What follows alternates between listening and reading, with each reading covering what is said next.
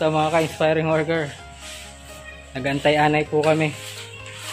Ah, bibigyan ko kayo ng maliit na idea, counting idea.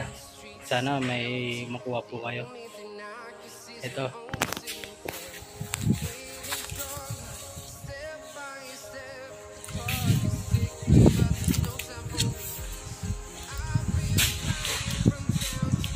Yan po yung gamit namin na pang antay-anay. Solibnum Soil Guard. Ayan po. 1 liter po yan mga ka-inspiring worker. Inalo lang po yan sa tubig. Halimbawa yung mga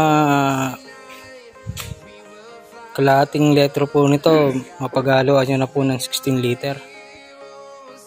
Ayan po. Napaka-subok na po na itong brand na to. Ito yung ginagamit namin.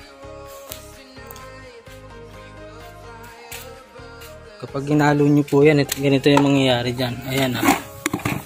Ayan, kulay gatas po yan. Pag ginalo nyo sa tubig.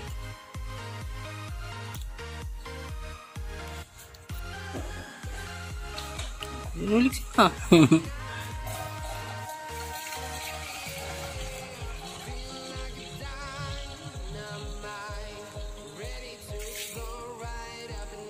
Last gallon na ba yan?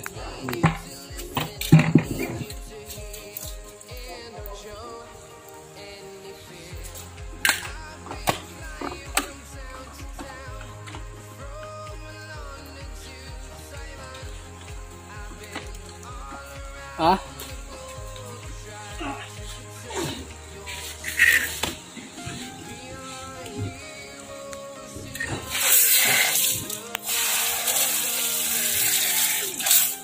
Paalala lang mga ka-inspiring worker, masyado pong makati yan, kailangan pagkatapos ng ano yan, magugas po kayo kaagad. Bali nakapagbutas na kami.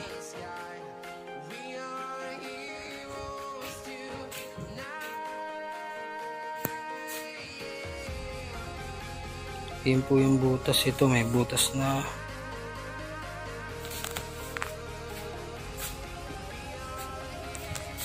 Yan.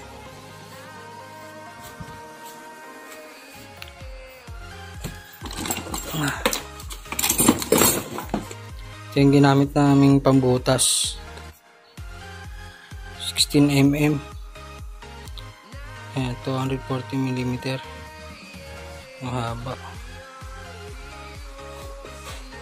Ang 300mm na yung pinakahaba.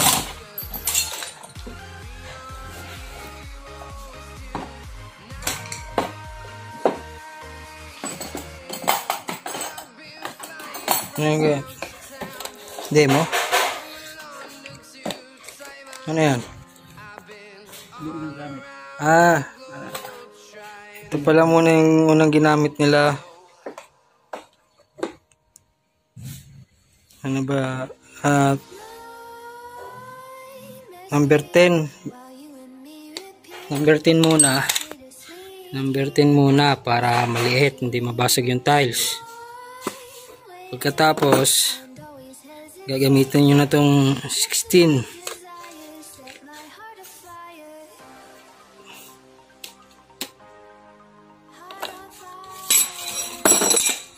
Ito, 16. Ayan.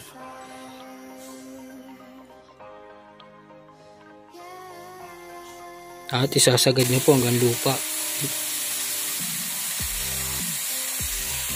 Siyempre, ingatan nyo yung limbawa, may mga nakabaon na electrical wiring, yan po yung pinakadelikado doon.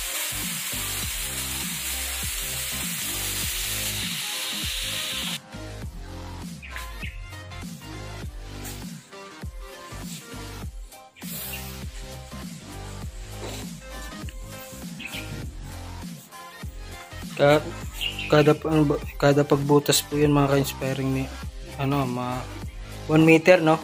1 meter. 1 meter yung ginawa mo. 1 meter, 1 meter. Dapat paikot. Paikot ng buong bahay. Bumba ka. Tapos kada isang butas kailangan 5 liter yung may lalagay yung soil guard.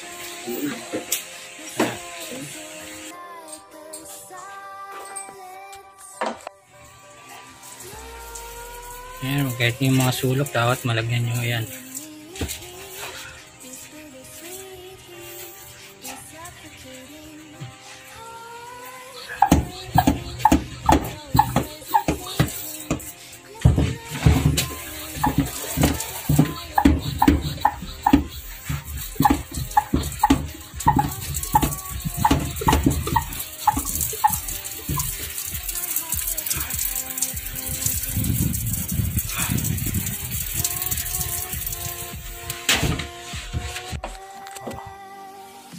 Okay, sana may nakuha ko kayong kaunting idea. Huwag pong kalimutan na mag-like, subscribe, at pindutin yung notification bell para updated kayo lagi sa video namin.